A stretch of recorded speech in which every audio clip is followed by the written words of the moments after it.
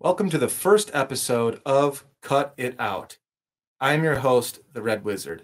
With this podcast, I will be speaking with my most favorite collage artists, paper crafters, and other makers from all around the globe. In this episode, I interview Max Malone. He is a professional collage artist and graphic designer based in Australia. In this episode, Max explains how he got his brand deal with Bombay Sapphire Gin, how he decorated an entire music venue with collage materials, and how to get the most out of scanning your assets and collages. We also talk a little bit about setting up a drop shipping store. Ladies and gentlemen, there are so many things that you could be listening to or scrolling with your thumb right now on your phone. I want to genuinely thank you for listening to this podcast. If you enjoy it, please subscribe. If you'd like to help support the podcast, if you're going to be making collages or art anyway, you could go to my Amazon affiliate store at redwizardcollage.com. If you buy a pair of scissors or some glue or some paper, Jeff Bezos himself will sprinkle seven cents on my corpse. I also have prints and free collage kits available at my store if you're interested in getting into the hobby or you'd like to buy some funky stuff to decorate your walls with. Thank you so much for joining this collage conversation. Let's get into it. Well, thank you so much for being here. This is the first ever episode of Cut It Out. Now, you went surfing yesterday? Yeah, um, and I'm going to go after this as well. I'm, I'm terrible, but um, I can stand up now. So, yeah, it's a it's an improvement from a month ago. And so you're from West Australia. Well, I'm actually originally from the UK, but um, I moved out here to be with my partner, and we've been here five years now. Normally based in Melbourne, that's where I call home now. Okay. But since uh, the pandemic, we um we kind of fled the city, and we're now in rural Western Australia, about five hours north of Perth. And this room that we're recording in is a studio that my partner and I built about six years ago. So this is a, a separate room at the back of the house, and this is where we work day to day. That's awesome. Yeah, I was wondering. I've seen pictures of your studio on Instagram, and I'm like, wow, that looks like an awesome place to work. And I actually assumed that you were in some kind of artist collective or something like that, maybe mm-hmm. like an industrial building that um, a bunch of artists uh, worked in. But that's totally your own. Yeah. Stuff, huh? Well, it, you did have that exactly right. I was in the most amazing uh, collective, this uh, space in, in Brunswick, in uh, in Melbourne, and I shared a I shared a studio room with another collage artist, a guy called Harry Madden. So that's probably what led to the pictures looking as impressive as they were, because it was the collection of, of both of our hoardings of books, magazines, and papers, and cabinets and curiosities. So just for in terms of photo shoots, it just meant that it just had that extra wow factor with you know merging both of our belongings because it very much was kind of a few of his things here, a few of mine there. It wasn't kind of half and half. It really kind of mixed and merged, and it was a really cool time. And um, yeah, I'd, I'd still be there today if it wasn't for the pandemic. But um, mm-hmm. a number a number of things kind of happened, including uh, the building getting uh, demolished for for renovations and being turned into apartments. So our time in that space was up anyway. That'll that'll do it. If they're demolished, yeah. you can't really stay there, can you? Yeah. So for now, all of my collage materials and accessories and everything that's all in storage. So everything that you see here, everything that I'm working with here is, is stuff that I've collected and amassed only since about uh, May last year. So I've okay. kind of amassed a whole a whole new, you know, studio and about three or four bookshelves of materials, all just over the last eight months, nine months, and eventually I'll be taking this back to Melbourne to join my my other studio. And eventually, I'll be combining that with a lot of possessions that I left behind when I left the UK. So I've still got quite a lockup of of materials as well in the UK. You have a stash in the UK still of collaging materials? Yes. Yeah, I've got so quite a lot there. That the question: How well? Where do you like to get your collage materials, and and how much time do you spend uh, hunting for these? uh, daily I'll check marketplace. You know, within a 20 kilometer radius. Um, just last week I picked up. Oh, I don't know how many, but maybe 100 National Geographic magazines, some as early as the 50s. Nice. So, uh, you know, I've, I've got, you know, hundreds and hundreds of those here. So that's a, a week, a daily thing is checking marketplace. Um, and then it's weekly to um, Facebook marketplace. Yeah, that's right. Yeah. And then op shops, I go to op shops uh, nearly every other day. I'm kind of unfortunate enough now that we're in WA where we don't have a lockdown. So I just have to sign in when you enter places. And yeah, so thrift stores, whatever you call them, we call them op shops, or back in the UK, they used to call charity shops. Yeah, we call them thrift stores here. Yeah. Yeah. And then finally, I love, I love, love, love going to the tip. So the tip has a, the tip's a dump. Oh, really? They let you in there? Well, it's, you can't just go sort of rummaging through the debris, which I ah. would actually love to do. But there's a there's a separate building adjacent to the tip where people can drop off and donate things instead of just throwing it into landfill. So I really love going there for the fact that I'm kind of most of the time rescuing thing, things that would otherwise just be getting buried in the ground. That's fantastic. That's that's a lot of time. That's a lot of checking. That's, that's yeah. I mean, it's it's it's my full time it's my full time gig these days. So you know, I take it seriously. Are you a full time artist? Yeah. So you are a full time well, artist. It, it it does it does vary. So I graduated from graphic design back in 2015. Okay. And since since then, I've been freelancing job to job, but at the same time, I've also found myself driving a combine harvester for a couple of months, or working in working in a bar uh, so it kind of varies, but since COVID, I've been full time just on just on my art game. And uh, before that, I had a good spell of about eighteen months just doing my freelance thing, and then going back to maybe doing one or two shifts in a bar a week, which you know I don't I don't feel is a, a regression or sure you know so there's there's certain occasions where I've kind of felt like I've, I've failed if I'm having to go back to finding part time employment Mm-hmm. But um, the way I try to look at it these days is that you know, I just got to give myself a pat on the back that I still have people knocking on my door and wanting to work with me. So yeah, if I ha- have to do something, if I have to do something on the side, then. But at the moment, it's my full time thing. But that may change. Speaking of your work, that's one of the reasons why I really wanted to have you on here. You've done a lot of really cool stuff, and um, I feel like oftentimes when people think of collage, at least here in the States, people think of scrapbooking or junk journaling, and they don't typically think of it as this awesome art form, you know, that could do a lot of different things. And the first piece of yours that uh, really struck me was I thought it was your Strawberry Fields uh, mural, but it was a different music festival. Uh, you were, there's like a picture of you were on the beach and you had like a like a like a volleyball or something.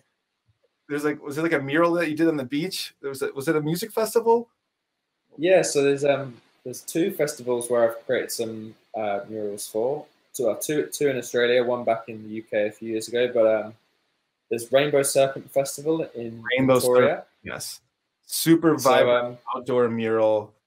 Yeah, really vibrant. I kind of just had a lot of fun creating that for a site specific site.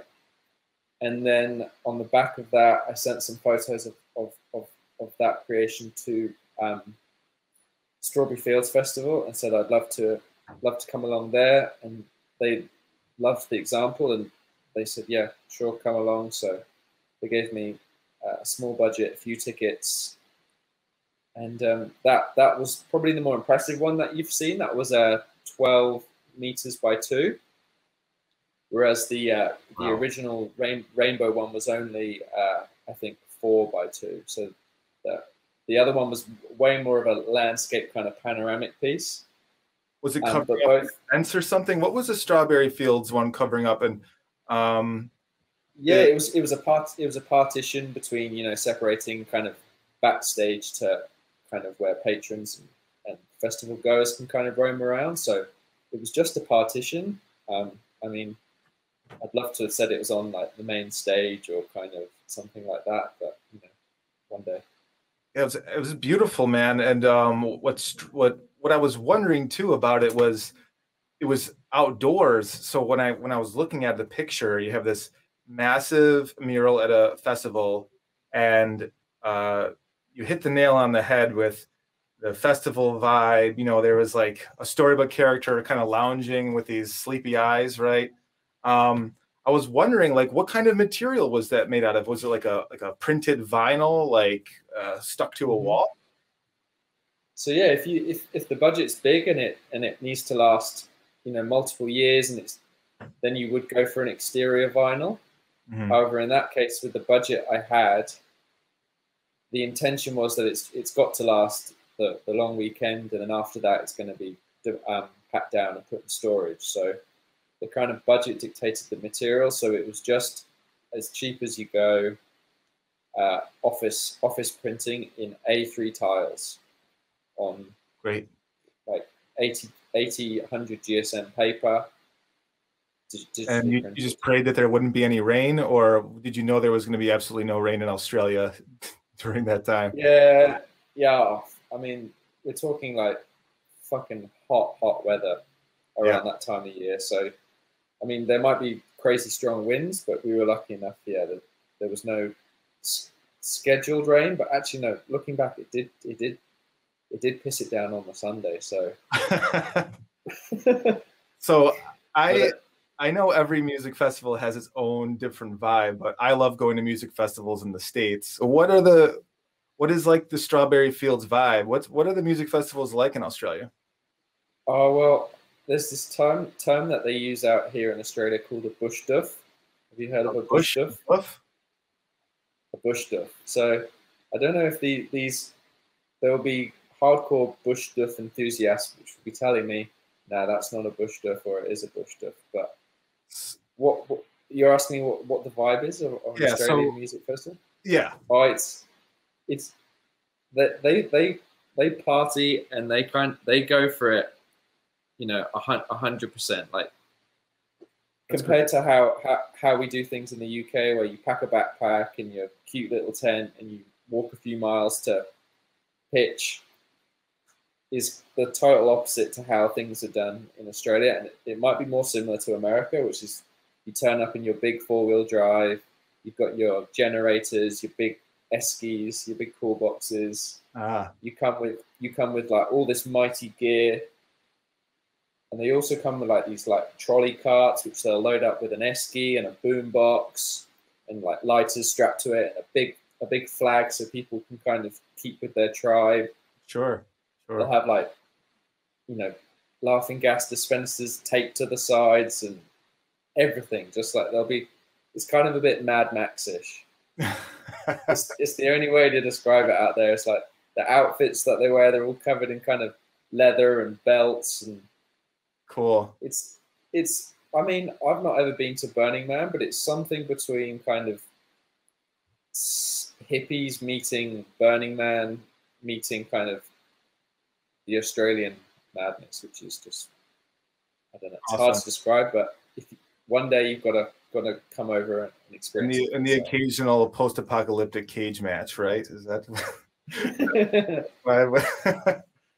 That's awesome. Uh-huh. I would say the when upstate New York, where I'm from, the music festival vibe, you know, you have Woodstock was in upstate New York. Uh, it's not quite like that anymore. It's kind of like you have two camps of people. There are people that do come with their RVs and their generators and their flags, and they're they're comfortable. They're partying to the absolute max, but Yeah.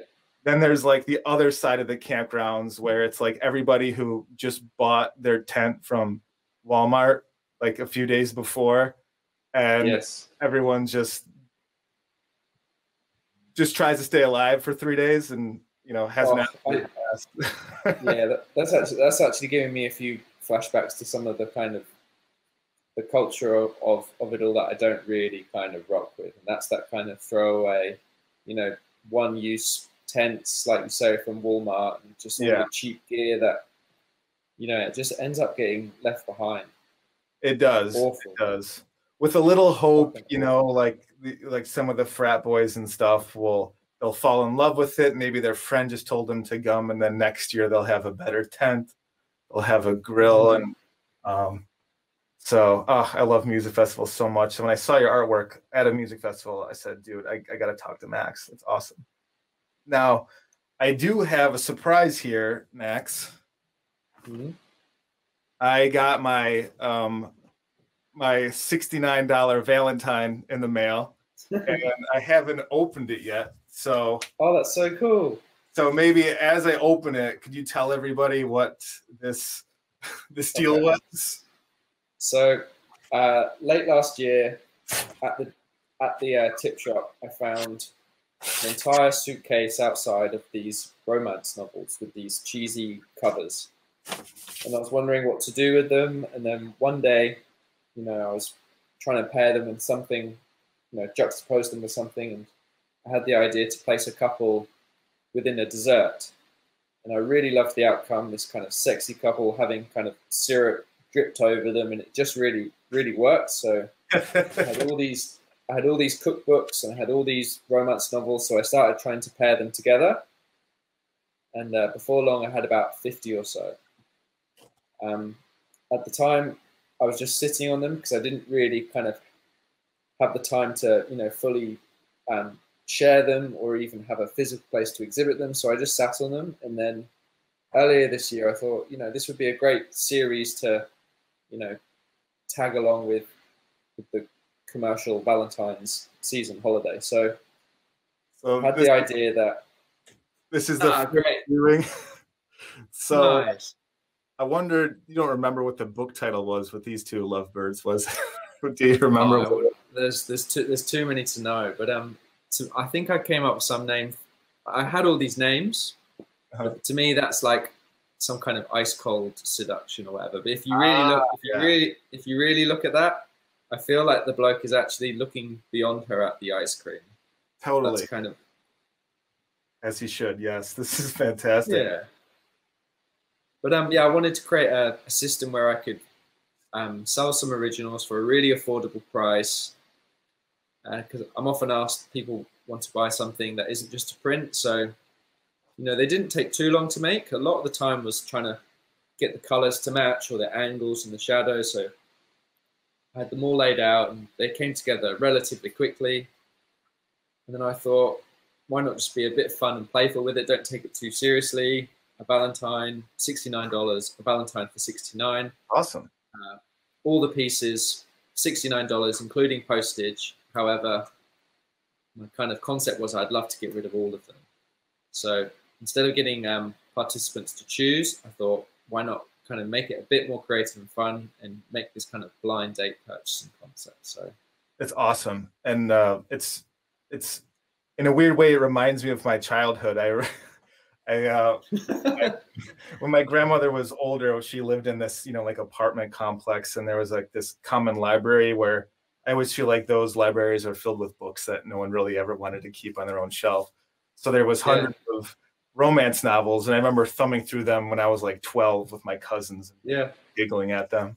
Now, you said something about um, collage coming together quickly sometimes, and I've heard other collage artists mention this too. And I want to know what your experience is when creating collages, because for me, sometimes I will be in my studio, I'll sit down to make a collage, and I will just be like going through source material, trying to make a composition, and I could just burn up hours sometimes, and nothing seems to ever go together.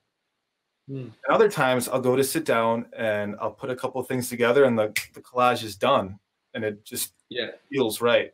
You haven't ever have an experience like that? Yeah, it's.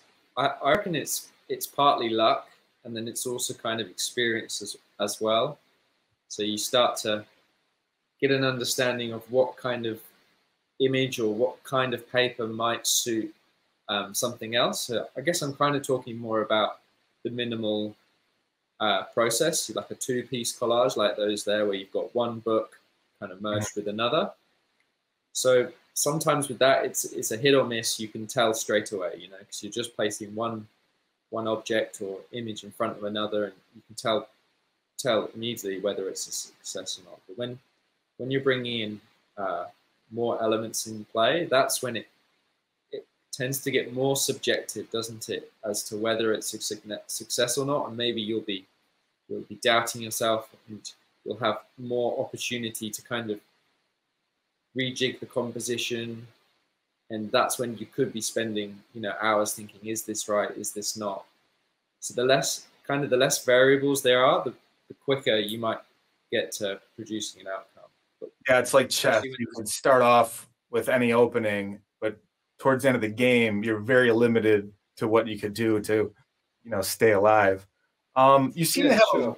a, a, really good sense of um, not only composition, color, but you seem to have a very good sense of um, how to push the the collages, um, whether it's to print them very large and still make them look nice. Like you have a picture of yourself with, I think it's like a massive P or R. Like you have a letter, you cut out like a letter from a storybook that was presumably, you know, this the size of a small breath mint, and you printed it out so it was like three or four feet tall. Yes. Exactly. Something like this, yeah. Like three or four feet tall. Now that must be your background, and you said you went to school for uh, graphic design. Yes. Yeah. Exactly. And yes, so, yeah. Go on.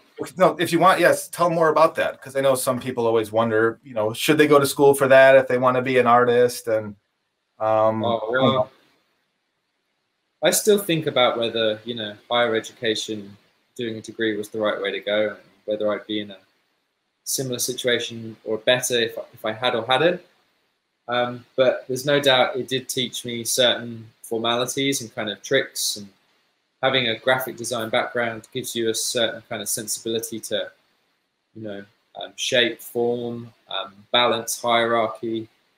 But the, the, that's not to say that you know you couldn't learn that yourself doing a short course or just you know, you through finding a few books or, or watching a few videos. So I wouldn't necessarily encourage anyone to, you know, attend higher education and get a huge, huge debt. But um, no, there's there's no doubt it's it's taught me a few things in terms of, you know, change, changing this little little letter and blowing it up large. But that that's essentially just the tools you have. You know, having a scanner, mm-hmm.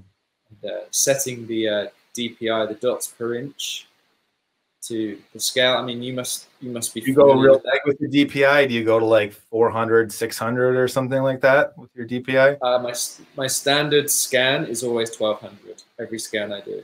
Oh shit! Yeah, that's yeah, a so lot. That's, of, a lot of dots. I mean, it may.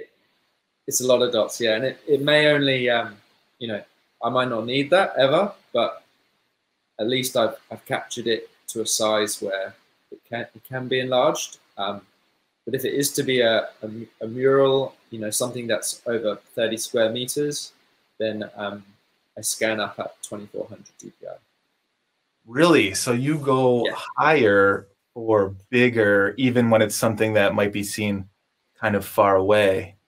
Interesting. So that, that that's the other thing as well. Blow up. The print shop guy doesn't call you and say, "Hey, our, our your file's been downloading for four hours." You don't get into any trouble well, with massive files. The, the, the trick is you're you're you're scanning it in at 2400 or 1200, but you're exporting it at a much lower number. So you're not giving that printer a 2400 DPI file at 12 meters by 2.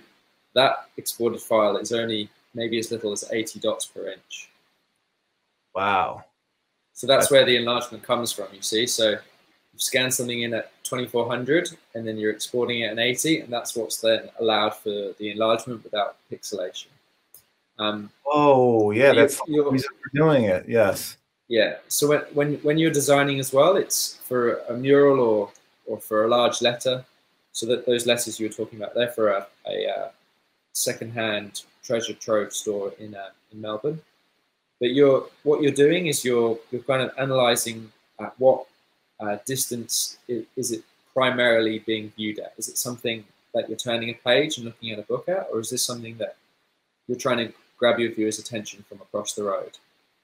So, anyone listening, if you're thinking about going to graphic design school or photography school, Max is the reason why maybe you would go because he knows that I'm the reason why you wouldn't because I'm supposed to know that. I went to college for photography and I completely forgot why you can go back down. I always thought, you know, bigger the better. So that's tremendous, man. Now, when you're making when you're pitching projects um, in, in graphic design, do people approach you because they see your collage work? Because one would wonder, you know, how does somebody work? How does a collage maker work with a, a brand like uh, Bombay Sapphire Gin? Because the work that you did for them was gorgeous. And I know every artist wants to know, well, how do you get a deal with the brand, right? How did that come about, if you don't mind sharing?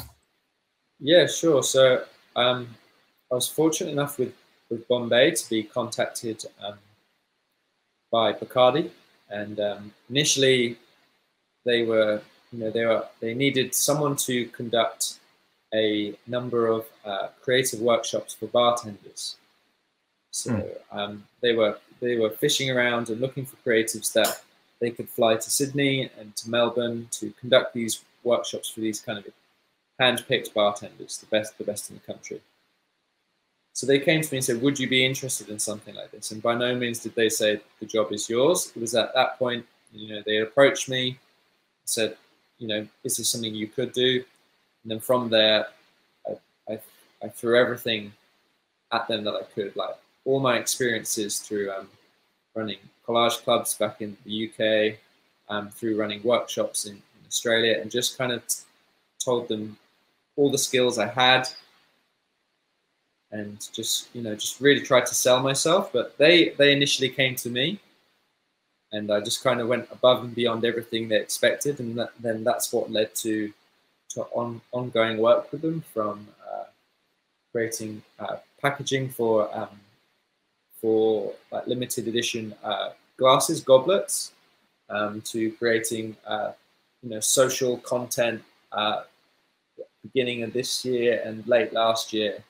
So it's still an ongoing collaboration, and I was fortunate enough that they came to me, and uh, the the whole reason that they found me was through um, design blogs. So I can't, can't can't stress that enough in terms of importance to to emerging artists is that you can't expect people just to find your page and your work. Like it needs to it needs to be, you know, out there as, as much as it can be. So, so your so some of your work was submitted to a blog, and someone from Bombay mm-hmm. Sapphire was um, scrolling exactly. through there and found it. Um, yeah. Now I was going to ask if that had anything to do with that beautiful uh, bar you designed, you decorated. Um, that was in Australia, right? No, that was actually in um, my favorite music venue slash bar slash cafe restaurant ever. It's in it's in Bristol, UK, home of Banksy, Bristol, west of England.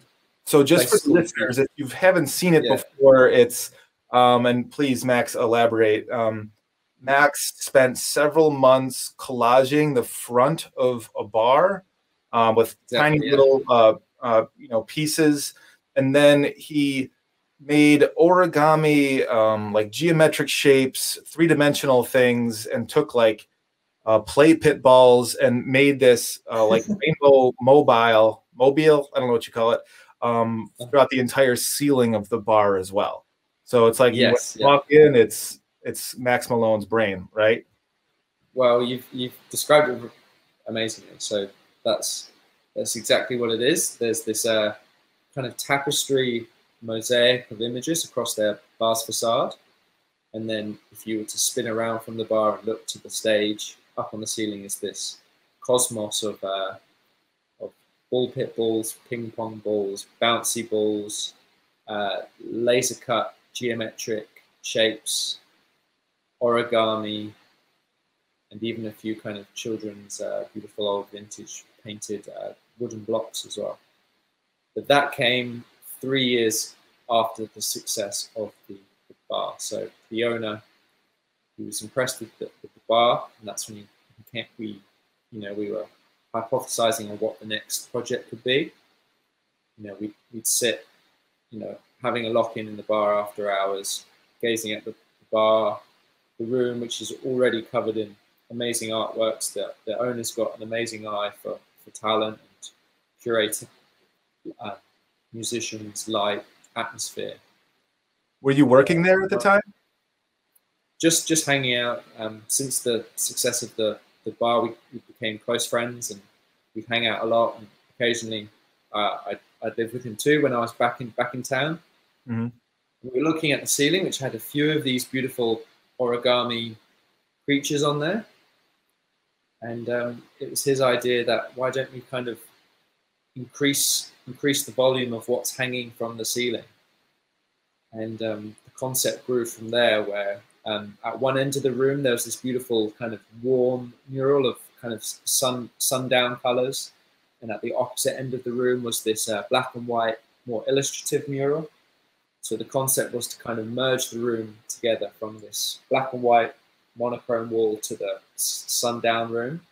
So the uh, the objects themselves go in a gradient from from dark to purples, blues, yellows, and then eventually from oranges back to the final wall where it's reds and golds. So it kind of it flows from yeah in a gradient of, of objects too. How many pieces did you hang from the ceiling? Do you have a number? Uh, I mean, in one one square foot, you'd have you know at least 10, 12, maybe you know, that many. And wow, it was a huge room. I mean, we kind of hypothesized that there's maybe 3,000 at least.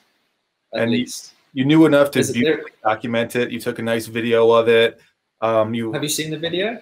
I did. I watched the video. You go to the laundromat with all the old pit balls and you sort them out and you're washing them and you have you know several washing machines uh, pit balls and uh, it took me a moment to understand that's what it was. I was like is he just gonna wreck all of this? What the hell is he doing? And i'm like they must be old pit balls and that's that's a yeah. that's a brilliant hack. That's a brilliant hack. They, they, they were secondhand donated balls that were in the back of someone's garden in the uk so covered in mud slugs, you name it, like all overgrown. I mean, because the budget didn't really dictate that I could cover this entire music room, brand new objects. I mean, the budget was inclusive of, of like what I was going to take home and what it would cost to create the artwork, you know. So there's a singular budget, and I'm trying to be thrifty and make it economical for both the, the venue and the owner and myself. So that's awesome. The, kind of like a assemblage, right? It's like a almost like a 3D collage. You're taking found objects. You mean you made a bunch yeah, sure. and, and, you're and putting it exactly, together. Yeah, that's awesome. Yeah. So uh, I'd highly, I if if if there's one takeaway from any any listeners, I would I'd really recommend checking out the uh, the Gallicosmos. I think you can hashtag Galley Gallicosmos one word on Instagram. How do you spell um, that? That'd be G A L L I C O S M O S, Gallicosmos. That was the ceiling project, and then from there, you'll also probably see some visuals of the uh, the bar mosaic, which I think today is still one of the projects that I'm, I'm most most proud of doing. That original bar facade, over around two, two months to complete. So, what are some of your goals in the in like the coming year? Oh well, um, the, it's it's not something I've kind of spoken about too much, but my plan is to move back to Melbourne and to find a new place to live, which will also be my workplace. I, I want to live and work under the same roof because I feel with collage, a lot of these ideas and concepts can come at any hour of the day. It's not something that, with a lot of trades, you can really separate. You go to work and you come back. So I feel it needs to be under the, the one roof. Um, but on top of that, um, I'm saving up to uh, rent a storefront, a shop. Cool. So that my, my, my studio practice can be on a, um, on a street with good foot traffic and a large glass facade so that um, I can gain a bit of traction and uh, audience just through passers-by as well. So the goal this year or early next is to uh, rent a rent a store and to um, conduct my practice from there, but to also uh, get the right insurance and things together to uh, start conducting uh, more regular classes, workshops, and you know just kind of creative jam sessions within within this studio slash shop front.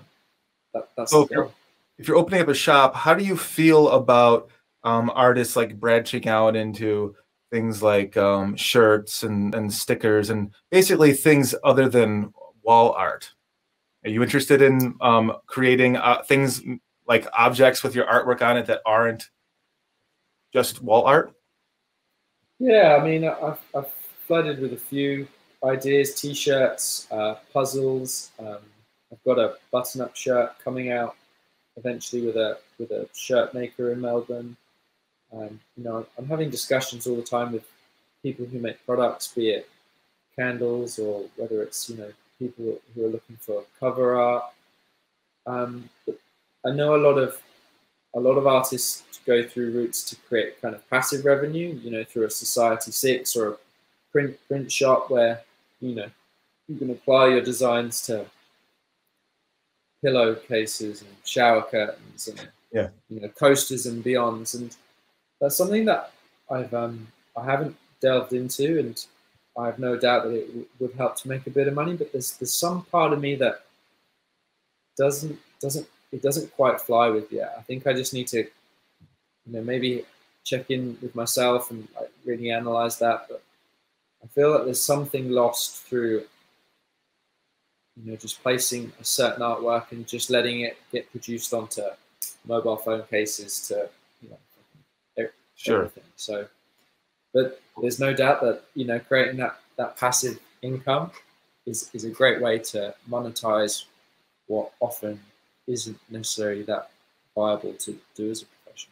Well, I think as as uh, like you know analog or hand cut collage artists, there's, I mean we we love the objects that we're cutting up, right? I imagine you get really excited when you mm. see some awesome storybooks. Like when I look at your um, collages, I think of like you've taken all the funny little odd characters that live on the periphery of the storybooks. You know, you don't really have the main characters. You have like the weird frog or like the silly flower or like the little gemstone. So I could totally understand where you're coming from. You know, where we surround ourselves with old ephemera and this stuff isn't really being made anymore. You know, sure. Um, mm-hmm. Talking about like I did just set up a printful uh, store and a drop shipping thing and when I was like searching around, how's it, how's it going? How's it going? Um, I literally just launched it the other day. I, I made one sale. It was somebody that you know I knew in college. Thank you, Nicole. Um, but the cool thing about Printful is you can like basically create the products there and and um, input them into other uh, websites to sell. So right now it's mm. um, plugged into my website, but with a few clicks of the buttons, I could have the same products for sale on Etsy. Mm.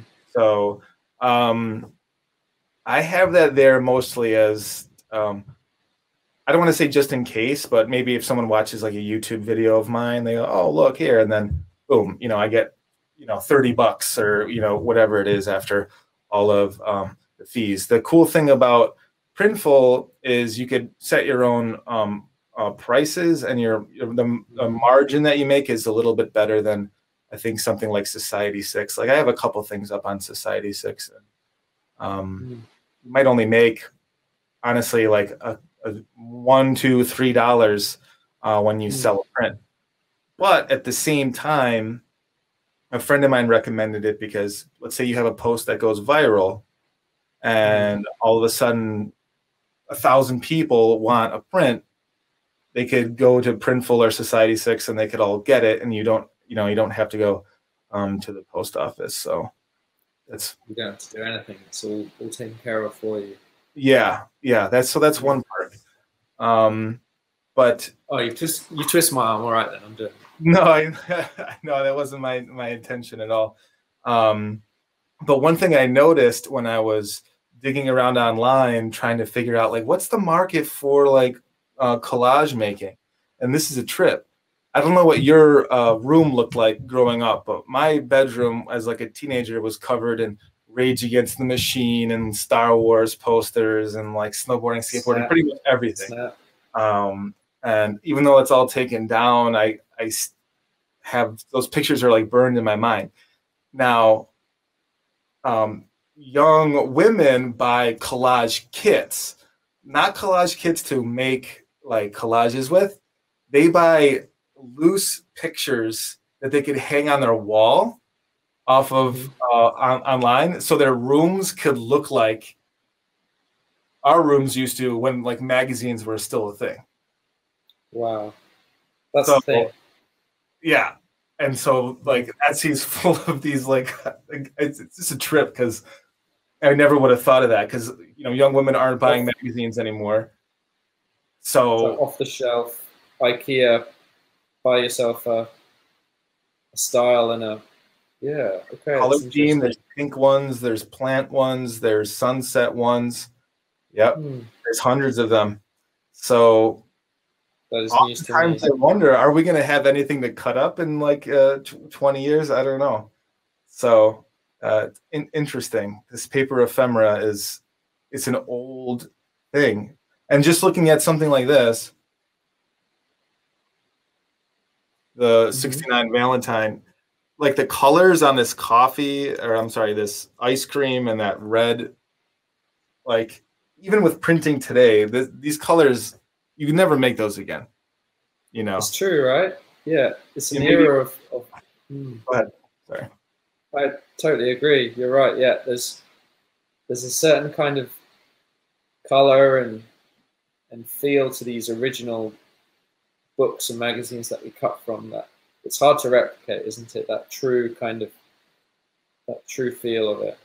Do you ever find anything you can't get yourself to cut up? Uh, good question. I do still have one or two. There's a few kind of, but I find that once once I take the plunge and cut out one image, it's then it's then fine. But um, I've tried to get into the habit more so now that I'm not just cutting out for the sake of it. It's got to be attached to a certain project or idea that I've got. There, there was a time where you know I'd, I'd I'd find beautiful you know ritual in just cutting out objects for the sake of it, mm-hmm. and then maybe they'd end up getting categorized and put into folders and files and so on.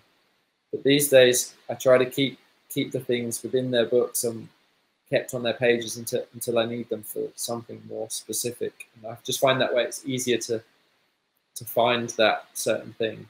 But yeah, I totally agree. know, People ask me how do you organize. Uh, the answer is I don't really. I have drawers, but then they're already organized in books, right? If I don't need it and I leave yeah. it in a book, I could kind of remember that it was in a book or a series. Yeah. Just leave it there. It's it's always fascinating to see how other people um you know choose to store or use their space. I mean, the more space and the more drawers and the more table surface you've got, basically, the better. But however much space you allow yourself, it's going to end up full. nice. Yeah, that's. I actually I grew up with uh, pack rats. My father was a huge collector. My uncle is a huge collector, and uh, every when the I'm in I'm in Buffalo, New York, so the weather is uh, is like shit for six months out of the year. But um, as soon as it warms up, everyone goes to this outdoor flea market. And I grew up, I always had a lot of toys and things like that because they were like these $3 dinosaurs and stuff I could get at the flea market.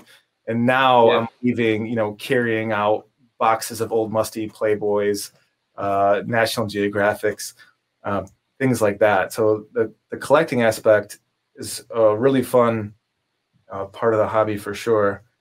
And um, I mean, where where, where does that? Where does, yeah, I mean, where does that sit for you? If you were to kind of break it down between the searching slash collecting, the, the cutting, the making, and then kind of the out the outcome, like what's what's kind of the, the most pleasurable aspect for you? Hmm. For me, it's often the for going out, driving, and collecting. I'd say that is a that is definitely a very fun part of it. Um, I guess my collecting is kind of seasonal, like I said, with the flea market mostly being open um, in the summer. So it's usually like like during the summer, especially with COVID, I I wasn't in my studio much, but I was buying boxes and boxes, you know, at the outdoor flea market because this was a place where we could finally like, you know, go out, talk with some people and stuff. So I bought way more stuff. I barely even looked at it. Um, for me, I think there's a magic in taking apart the thing that you're cutting up. To me, it's almost like a. It sounds weird, but it's almost like a form of like sacrifice and like a magical ritual where I'm I'm mm. putting it up and I'm like, this is a beautiful book. This is like a cute picture, or whatever. But like, you're mine now, and I'm gonna transform you. I'm I'm turning this into uh, something else. And mm. I guess my process the past couple of years is I've been more interested in the ideas, and it's like I've been trying to solve different philosophical problems in my head, um, putting it together. And I reached a point where I'm like, you know, that okay, I've you've said it, you've done it, you're over it. Now I just want to make things that are like very uh, fun and, and colorful and, and strange. I think I think that does enough for people, you know, rather than trying to guess what type of philosophy I'm trying to unpack from, um, you know, metaphysical things that I'm thinking about when I'm looking at them. So um, I think the magic is in the composition because you're taking things and making new relationships with them. So I guess I guess that's my favorite part. Yeah. So I don't know how time you have left. Um, one thing I did wanted to ask, I did want to ask you earlier when we were talking about the music festivals. I slowly mm-hmm. started to realize some of my most favorite bands that I've been listening to over the past couple of years mm-hmm. that Spotify has been feeding me are from Australia. You have Tame Impala, the psychedelic, yeah. porn, the psychedelic porn crumpets, the Babe Rainbow, and King Gizzard and the Lizard Wizard. Yeah, those are fantastic bands, and I'm wondering, like, what's is there a vibe going on in Australia? Are people kind of celebrating this vintage like psychedelia? Mm. Well, I've just just the last few days I've been really getting into uh, Dope Lemon, so definitely give Dope Lemon? A, a, spin. Dope okay. Lemon, yeah. Um, okay. um, I'd love to create some artwork for Dope Lemon, but yeah, I just think there's a certain culture here in Australia. There's a certain pace of life, and I think generally people are very happy and positive out here, quite laid back, and I think it's it is just a good a good cocktail and melting pot of kind of attitudes and and lifestyle, and people have got it. Generally speaking, like there's a good, very good quality of life out here, and I think it's just, it is just a breeding ground for amazing music and sounds and, and artists. You mentioned um, psychedelic porn crumpets. I'll have to give a shout out to my friend uh, Jordan Martin back in the UK, who I went to school with. But uh, he's produced a couple of their music videos actually, oh, nice. using a kind of a, a collage aesthetic. Cool. Um, and then back to back to Tame, Tame Impala. I remember uh, first hearing his music and the aesthetic of the covers as well. That was an amazing artist who's based in uh, in the UK, but he might be Australian. I think I don't can't quite pronounce his name. His name's Leif. Leif. Leif, Leif Podhajsky. He's an amazing designer. He does amazing record covers. And then you mentioned King Gizzard and the Lizard Wizard. Yes. I mean that again, like the amount of kind of genres that they'll smash together and and experiment with, like hugely inspiring. Like music for me is is synonymous with with, with making. Um, there was an album that came out. Was it this year or last year that I was really anticipating? That was uh, the Avalanches. The Avalanche. Familiar with them? No. I'm, not I'm familiar with the Avalanches. Right here. okay, so I I've actually credited them and met, wrote to them before that as a you know a 10 year old kid first hearing the avalanches kind of opened my ears eyes and mind to to what what you are allowed to do in terms of you know mixing and chopping things together from disparate places. Mhm. The Avalanches, you know, their original records were you know just sampling from everywhere, like without without hesitation, without licensing, Mhm. but creating the most amazing sounds. And um, so yeah, to this day, I, I still recall first hearing the Australian band, the Avalanches, and how they would chop and slice music together. And I found that hugely inspiring as a as an artist. You ever heard? I've heard someone say uh, hip hop is a collage, and if you think about it, like there's, you think about like living in a city where you're standing there, you'll hear someone else's music in a car, you'll hear like a window air conditioning unit, you'll hear somebody talking, you'll hear a siren, you hear all these different sounds at once. Um, have you ever heard the Beastie Boys album Paul's Boutique? Yes, yeah. That's probably that's if if that's my like desert desert island pick. I'll definitely, I definitely should give that. I've been, I've been listening to um, a lot of podcasts with uh, Rick Rubin lately, Nice. the producer. Mhm. Like his his his conversations he's having with you know hip hop pioneers and you know just the way he he goes about what he does. And he had an he actually mentioned a- something which would kind of cool cool thing to end on potentially, but uh.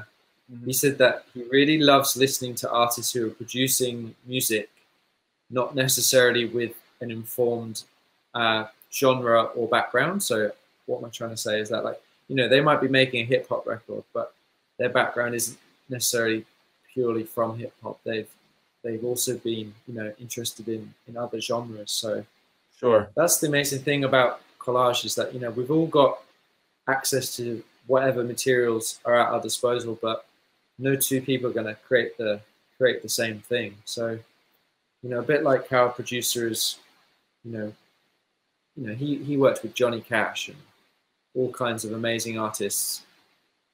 Not necessarily because he was the best in that particular genre, but just because you know he had a certain inclination to try things and to mix styles and techniques together. And I think that's what's amazing with with collage and why I still find it fascinating and love this community and follow amazing people like yourselves because we're all going about a medium with our own interpretation, style, and approach.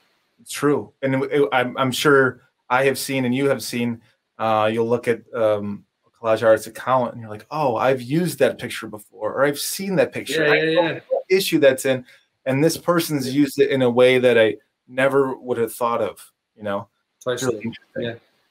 So, Matt, thank you so much for being on the show. Um, is there anything you want to plug? Um, anyone listening, you want them to, you know, check out your Instagram page? Any projects you want them to look into? Yeah, I have. Um, I've got something in the works right now that I'm really excited to to share. Um, I don't want to give away the collaborator yet. I want to sort of wait for a full reveal, but it is um it is a collaborator in the states, um, and it's something I'm really um, excited to share. But overall, I just say um, love to give me a follow on Instagram. Uh, the name is at maximillian.malone, or it's quicker just to hashtag Max Malone, one word, M A X M A L O N E. So yeah, just find me on socials and say hello. I'd love to, you know, if anyone does listen and found this of any use or interest, do do say hello. And yeah, thanks so much for uh, choosing me for this first cut it out episode. That's really kind of you. Thanks again, man. I, I had to have you here, and thank you so much for for joining. It's awesome. Oh, my pleasure. Nice to chat. We'll do it again. All right, man.